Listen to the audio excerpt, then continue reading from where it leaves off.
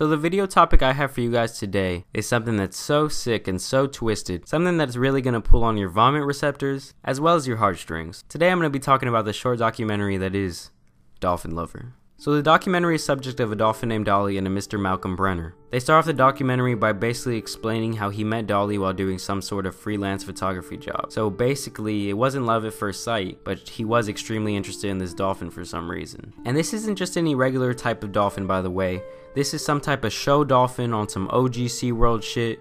She's used to being around crowds, she's used to being around trainers, so she's pretty good with people and eventually he gets to swim in the water with the dolphin. And though Dolly was afraid of him at first, she eventually swims over and kind of lets him pet her like a dog. And so he's petting her like a dog, he's rubbing her back, and he kind of talks about how he, she starts to roll over, much like a dog would under the water. But she eventually starts swimming up a little bit more and more until he's eventually just rubbing on this dolphin cooch. So yeah, I don't know. My dog has never done that. But yeah, he's rubbing this dolphin cooch, and after rubbing this dolphin cooch, he decides that he wants to have a closer relationship to this dolphin, so he's gonna start seeing her a lot more often. And he talks about how every time he sees her, I guess he's just turning this dolphin on more and more. She's rubbing her coochie all over his arms, and he keeps saying how old Dolly just wants to court him. And that's in his words, not mine. And he basically tells how she's nibbling on his legs and his arms in an attempt to turn him on.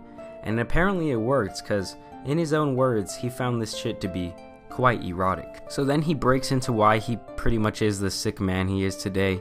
He tells a story of how he got into bestiality. When this guy is 5 years old, he goes to see a movie about a dog, and he ends up getting very, very turned on by this shaggy dog. This man had a bone for that dog to clean with his teeth, if you know what I mean. And then he talks about the first time he actually tried to have sex with an animal was when he was 12 years old and he tried to have sex with the family dog. He goes on to tell how other guys would be talking about girls and doing sexual things with them in high school, and he could really just care less. But yeah, I bet this psycho could care less, going home and having a field day with a family dog and a jar of peanut butter every day. Sick bastard. But yeah, getting back to the dolphin, he says he felt that she was really the only female who really cared about him. It kind of starting to make sense now. This guy had zero chance of getting any lady to pleasure him sexually, so these animals started looking real nice. And one day it sounds like he finally got the dolphin all alone when everyone else was on break or something, so he was finally ready to smash this dolphin once and for all. Because everything up to this point was apparently mere foreplay. And weren't the people who own this place like, why the fuck is this guy so attached to this dolphin? Why is he always in the water with this dolphin? What the fuck? So yeah, he tries to have sex with his dolphin for the first time, but his stroke game was too weak and he got some stage fright, so he's basically out there swinging a serious garden hose. And here's where the documentary tries to make you feel bad for the guy and explains that he suffered quite a bit of emotional and physical abuse at a young age, and this is why he believes he is attracted to animals. And he says animals make him feel safe and happy, so just naturally he let out his sexual frustrations on these animals, right? Until he essentially compares his love for these animals to interracial marriage. Seriously, this man thinks that just because black and white marriage was legal around 50 years ago, that people having a relationship with an animal will be considered normal within the next 50 years. This is really just the point that I stopped feeling bad for this guy, because he realizes that he's truly the one with the problem, but he still wants us to accept him like there's nothing wrong with him. Hmm, sounds a little bit familiar. My god, I don't know what type of logic that is, but I'm gonna stick to what I know. The genitalia of my species should at least remain within the realm of my species, okay? So, yeah, you're on some other shit people and animals getting married or people and animals making love is never going to be okay because you can't really get an animal's consent. No? I don't know. Let's keep going. So, yeah, then he explains how the last time he went to see this dolphin was the time he was actually able to engage in sex with her. So, this creep actually calls it making love that day describing the dolphin as very gentle and enormously erotic again. He acts like this dolphin is as seductive as fucking Salma Hayek or something, so I don't know what this dolphin was doing, but yeah, she's extremely erotic. He says that they had to try several different positions, and it's funny as fuck, because whoever did the documentary is giving this little visual that just killed my ass. And he talks about how they merged together and really became one.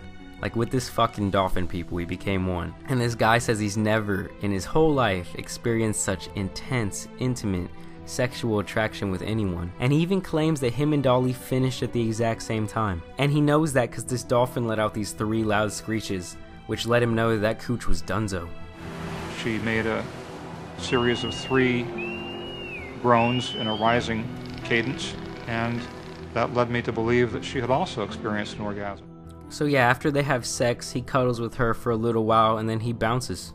He tries to justify his actions, explaining that it wasn't rape of this dolphin, but he was merely making love. So he decided to hit and quit it, and apparently that made this dolphin so heartbroken that she decided to swim to the bottom of the tank and hold her breath and kill herself. That's some crazy shit. That's some Romeo and Juliet shit. This guy must think he's a real romantic. So yeah, pretty much this guy meets this dolphin, has a one night stand with her that affects her so much that she kills herself. Nice. And at the end it talks about how this sick man actually has a daughter of his own. And I'm just thinking, damn, that ex-lover must be on suicide watch right now after watching this video. But that's really all I have to say about this dolphin lover. Do you guys think that this is an okay thing for him to be doing? Is it animal abuse to be just having sex with them? I don't know. But this video was fucking crazy. And white people need to calm down at time. I'm totally playing, but I hope you guys like this video. Leave a big like on this video and subscribe, bro. Leave a comment too telling me what you think about this weird ass man. I'll be giving more details on my giveaway in the next video. I hope you guys enjoyed this one, and uh, I'll catch up with y'all later. I'ma always put in work like this. I don't know how to stop being turned like this. I'ma always go up. Ain't no time for hold up. I'ma always put in work like this. I don't know how to stop being turned